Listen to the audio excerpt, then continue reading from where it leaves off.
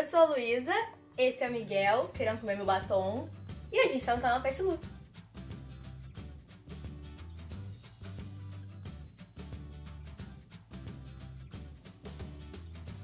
O vídeo de hoje está muito giro porque eu vou pegar a minha caravela e ir diretamente para Portugal. Isso porque a nossa seguidora, a Mara Fernandes, que mora na Ilha da Madeira, em Portugal, ela acompanha o nosso canal e como é de outro país, ela tem dúvidas com relação aos produtos. Então, como a gente não conhece os pet shops de lá, nós vamos entrar no site de um pet shop que ela mandou pra gente e vamos ver quais são os produtos que eles oferecem. Mas antes, não esqueça de deixar seu like e se inscrever no canal. Ah, e segue a gente também lá no nosso Instagram, arroba canal Petlu, tem sempre novidades e muita interação. E se você é nosso seguidor e mora em outro país, você pode mandar pra gente sugestão de sites pra gente reagir, porque a gente gosta de ver as diferenças entre as lojas.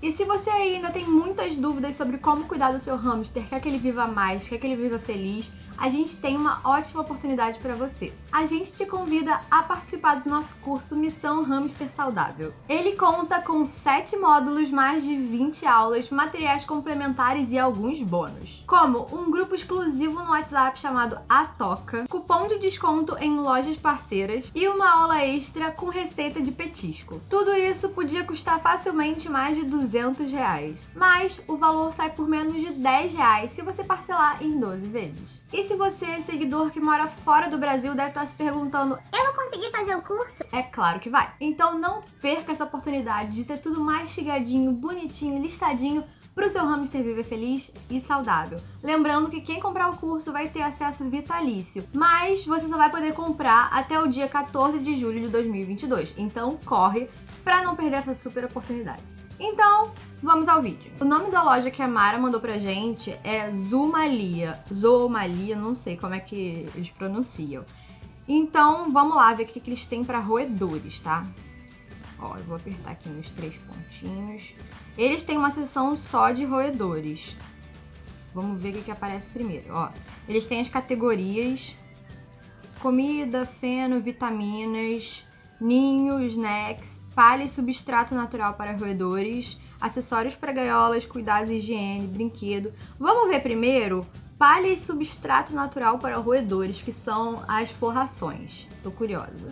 A gente vai descobrir agora se em Portugal tem produtos mais legais e apropriados do que os que a gente encontra aqui em grandes pet shops, ou se também é uma desgraça e eles não sabem de nada. Vamos lá. As nossas promoções. É tudo. Eu, eu gostei já do site, porque é tudo categorizado, né? Tudo bonitinho, ó. Cubetos de milho deve ser o granulado de celulose. Sílica para gato. Por que, que tem sílica na parte de roedores? Não sei. Gente, quem. Deve ser tipo areia de gato que a galera usa pra roedores também, mas não dá. Mas não pode ser com sílica É. pra usar pra roedores. Você pode usar areia de gato, tem gente que coloca em banheirinho, funciona, mas tem que ser aquela natural. Não pode ter sílica, gente, porque é tóxico. Ó, vamos ver. Substrato natural de cânhamo. Esse, isso é legal, ó. O de cânhamo, a gente já falou que o cânhamo é meio problemático, porque, pra quem não sabe, é a, a plantinha da cannabis, não é? Eu acho que a gente não consegue comprar ele aqui no Brasil, não tem.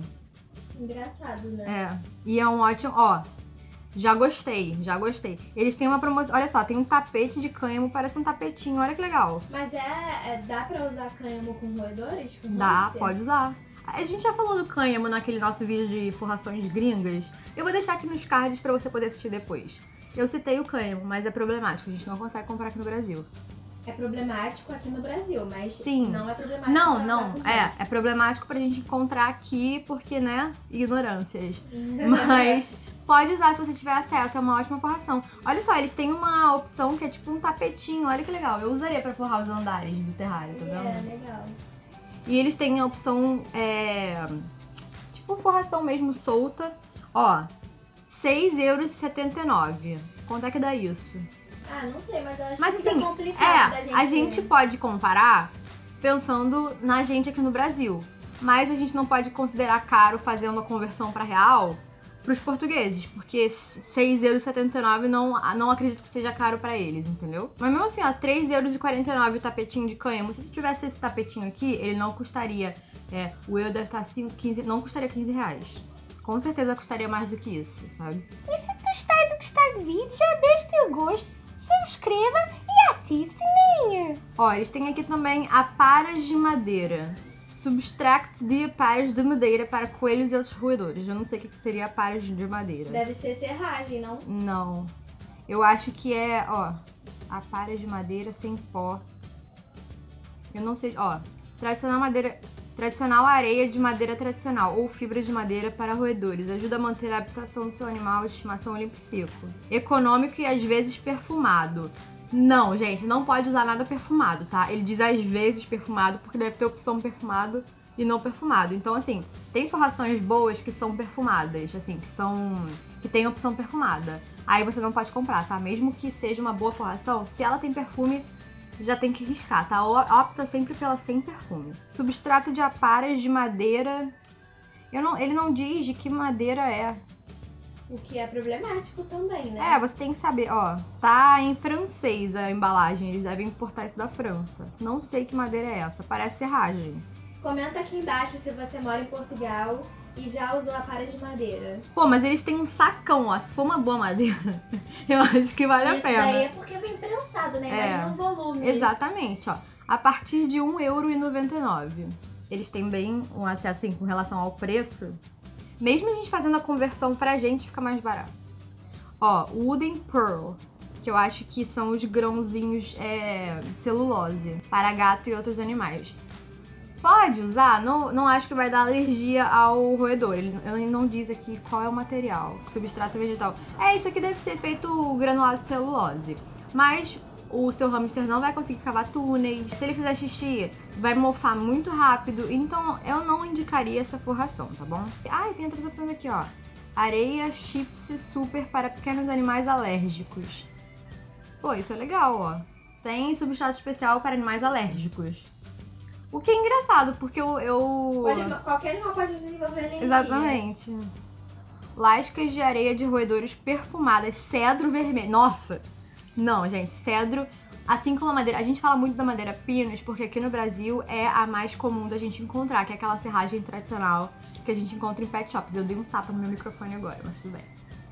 É, o cedro também é uma madeira muito problemática. Só que aqui no Brasil, eu, eu pelo menos nunca vi é, forração feita de madeira cedro, tá? Mas se você mora fora do, do país, tem que ficar atento, porque é uma opção comum também. Mas é boa? Não, não, cedro é é que nem a madeira pinus.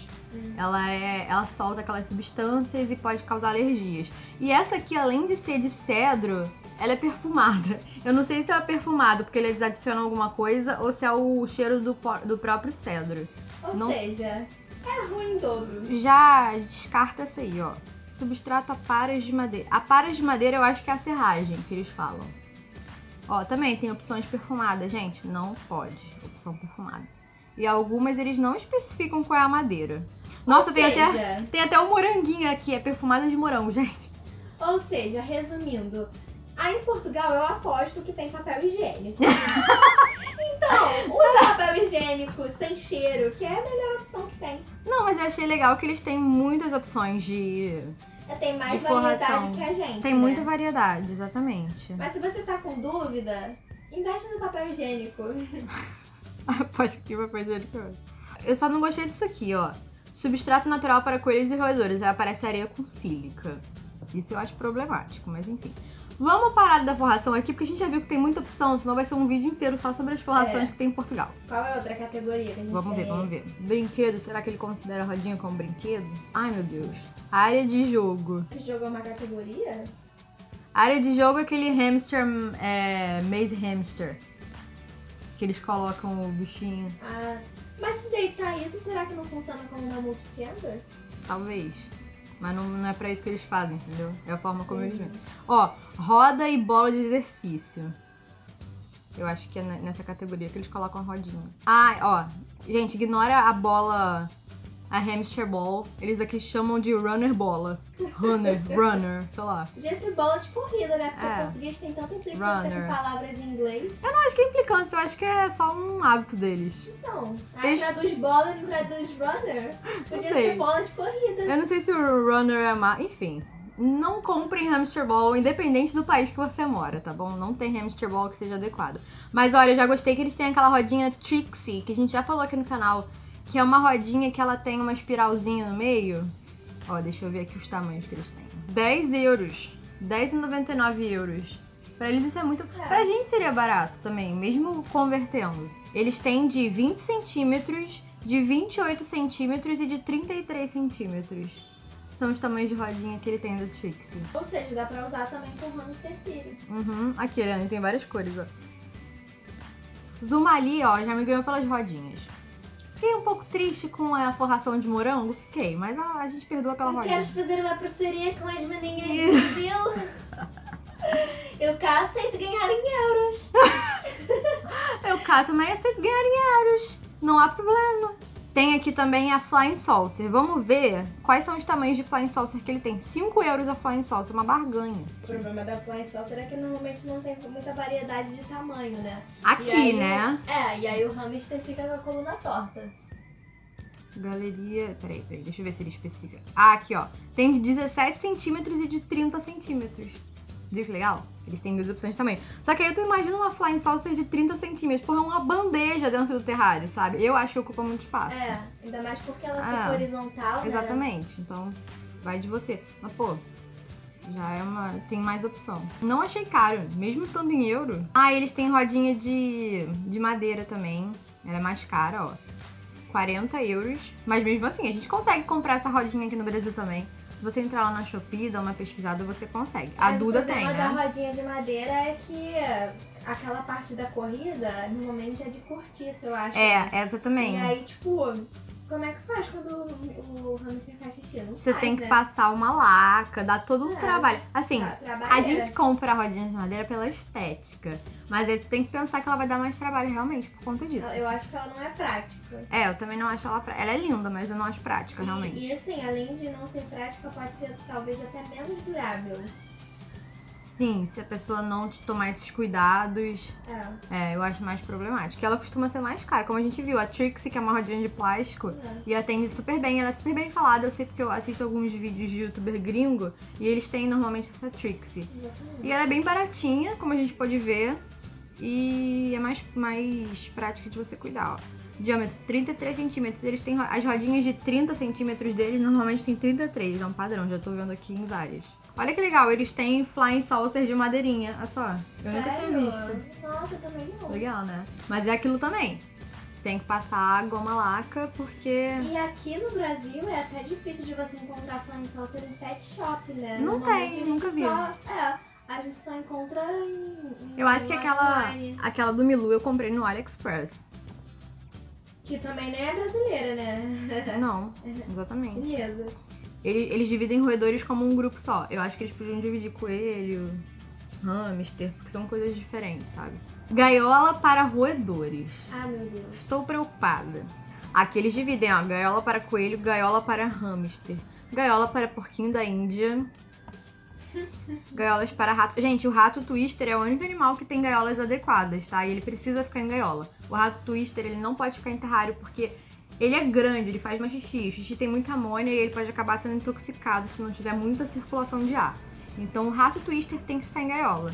Mas precisa ser uma gaiola grande o suficiente, dependendo também da quantidade de ratinhos que você tiver, tá? O nome gaiola a gente critica muito aqui, mas é porque aqui não tem gaiolas para hamsters com um tamanho adequado. O problema não é ter aquela forma de gaiola. Até Exatamente. porque, como a gente falou, né, já várias vezes no canal, às vezes a pessoa tem um terrário e o terrário é muito pequeno, então também não adianta de nada. Tem a estética do terrário, É. mas não atende o principal. Exatamente. Que é o então, tamanho. assim, se tiver, se tiver uma gaiola com um tamanho legal e uma bandeja muito alta para conseguir colocar o mínimo de forração pelo menos, já é ok. Eu não sei se lá em Portugal existe esse modelo. É. Tô ansiosa pra ver aí. Olha aqui, eles têm gaiolas para hamster russo ou anão. Gente, é porque essa gaiola provavelmente é menor, eles dizem que é para não russo. Porque mas, ele é menor, é, né? mas a gente tem o, o, o mínimo recomendado é o mesmo, independente de ser anão russo ou sírio, tá? Que é 1 metro por 50 centímetros, então não caia nessa.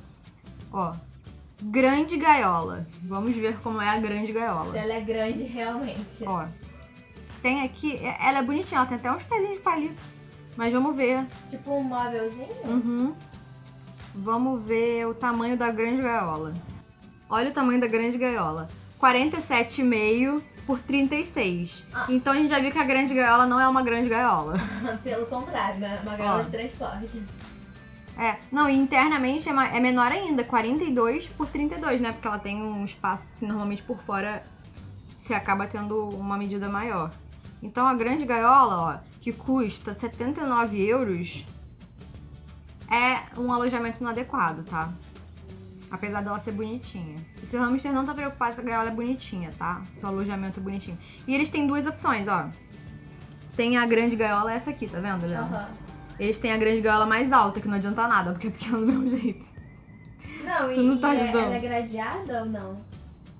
Ela. Não, ela é de madeirinha, parece, por dentro. Não, mas tipo assim, a, o vidro, ela é vidro ou é não, gradeada? é gradeada, é gradeada. Ah, então, mesmo que seja mais alta, você não consegue nem colocar a não adianta, não adianta. é.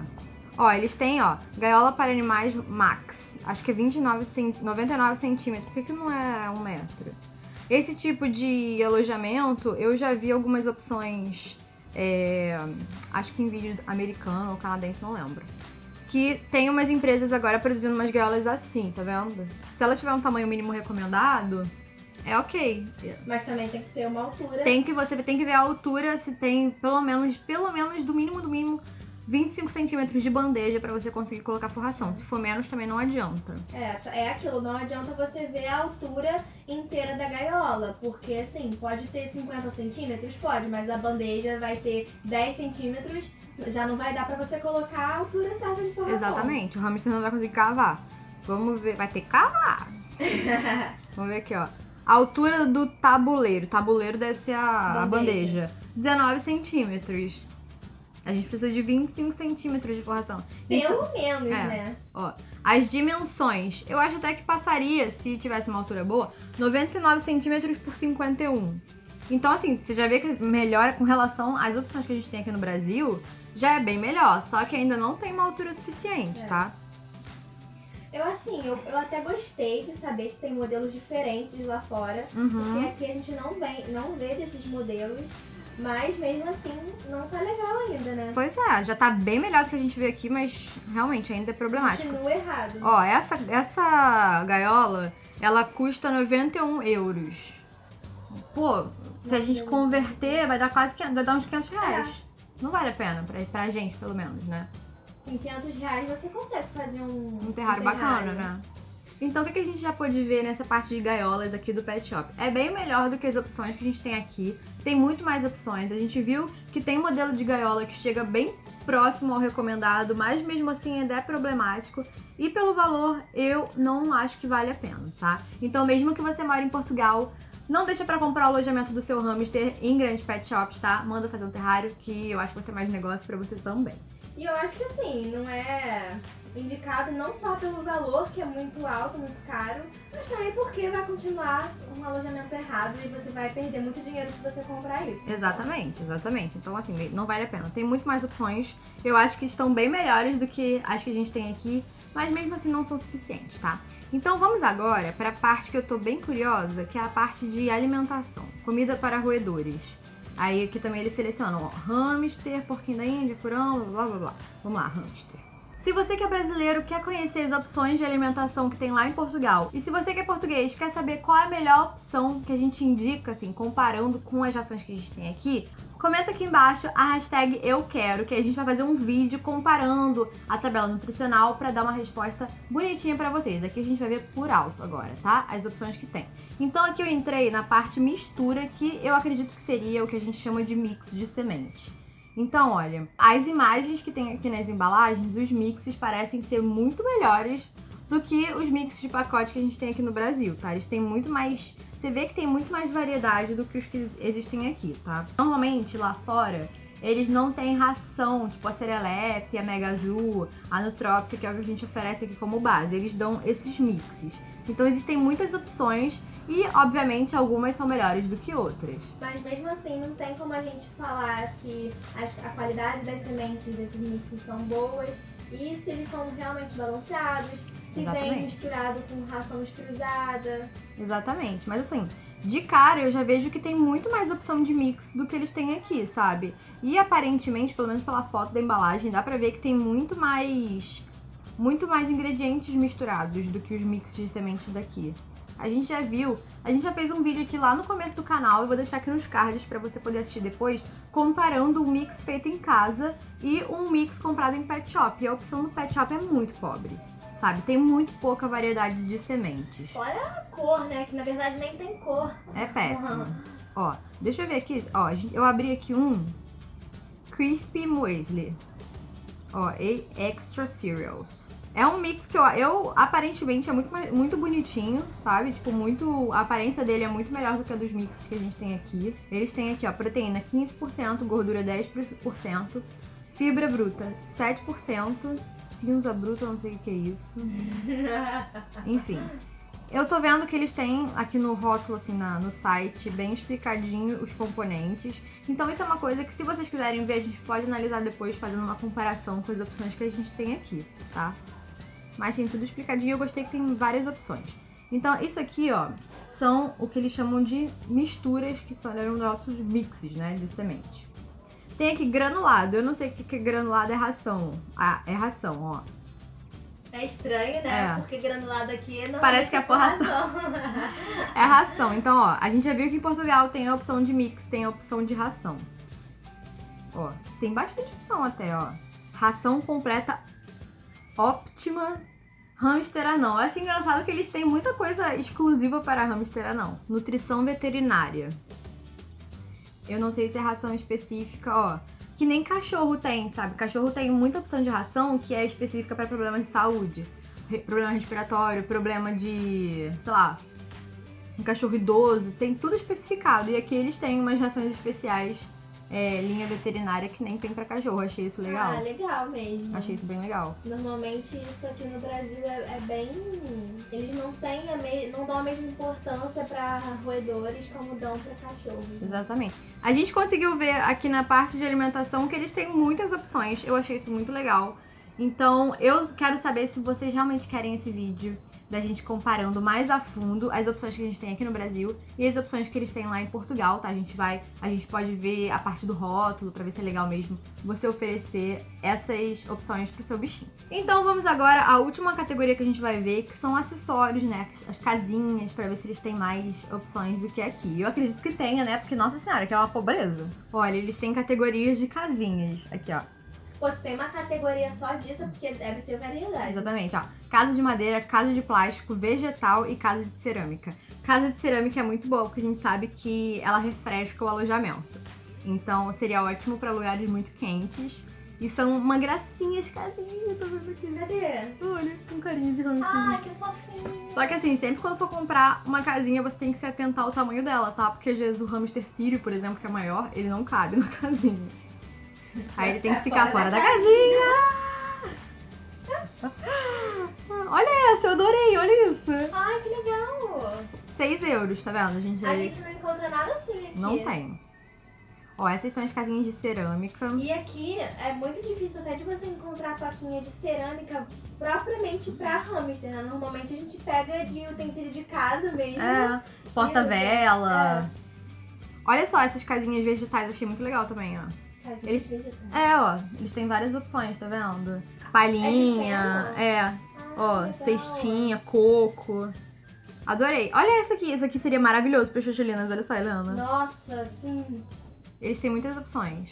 Essas opções aqui, a gente, algumas delas a gente até encontra em lojas online aqui no Brasil, mas e é também aquilo. em sessões de pássaro, né? É, exatamente. Mas voltado para hamster mesmo, a gente não, não Exatamente. Tem. Olha que legal essa aqui que você pode colocar no cantinho do alojamento. Ah, legal, fica tipo uma plataforma, exatamente. Tá vendo, gente? Tem muita opção. E é uma coisa boba, sabe? Eu não sei por que não tem aqui. É. Porque tem um mercado grande. Não sei por que não investem, só investem em cachorrinho. Essas aqui foram as casinhas que. Ó, vamos ver as de madeira. Essas casinhas de madeira, elas são mais problemáticas, porque tem algumas que a gente sabe que tem prego, Hum. Então você tem que tomar muito cuidado, tá? E de repente pode ficar com alguma partinha afiada pra fora. Né? Exatamente. Né? Então eu tenho cá as minhas. Cá, olha, eu tô falando que nem em português. Eu cá tenho as, eu cá tenho as minhas ressalvas. Então, assim, eu gosto de casinha de madeira, mas tem que tomar cuidado com isso. Principalmente essas assim que são mais rústicas, são as mais problemáticas, tá? Mas isso daí tá na seção de, de hamsters? Aham. Ou é tipo pra coelho? Não, não, tá de hamster. Pra, ele diz pra roedores, né? Mas. Aquela generalização É, complicada. aqui, ó, tem um porquinho da Índia aqui. Mas enfim, você pode, não nada impede que você coloque pro, pro seu hamster, tá? Mas fica atento a essa questão da. Eu acho legal quando é assim, que normalmente é colada. Essas mais rústicas têm pregos, e são uns pregos meio bizarros, que a gente já viu, tá? Bom, essas foram as casinhas pra gente ficar dentro da casa. Pro seu hamster ficar dentro da casinha. Esse foi o vídeo de hoje. Eu espero que vocês tenham gostado de ver essa comparação. Eu adorei, gente. Ainda tem alguns problemas no Pet Shop de Portugal? Tem, tá, gente? Mas eles também têm muito mais opção de acessório. Exatamente. Tá, eles estão muito. Eles têm problemas, mas estão muito melhores do que a gente É. tá aqui. Eu espero que você. Tipo, ó, comenta aqui embaixo se você é de Portugal. Mara, eu espero que você tenha gostado do vídeo. A gente adorou essa sugestão. Se vocês quiserem enviar mais sugestão de vídeo pra gente, pode colocar aqui nos comentários ou mandar lá no nosso Instagram, arroba canal Petloop, que a gente lê tudo. Eu e o Miguelzinho vamos mandar um beijo especial pra quem é dos Açores. Gente especial a Ilha Terceira. Será que tem gente da Ilha Terceira aqui? Não sei. que nossa família é da Ilha Terceira. Então, um beijinho a todos. Beijinhos, muitos beijinhos! Não esqueça de deixar o seu like, seu gosto, se inscrever no canal, no canal, se inscrever no canal e compartilhar com os amigos. E segue a gente também lá no nosso Instagram, arroba canal Tchau! Tchau! Adeus, Deus,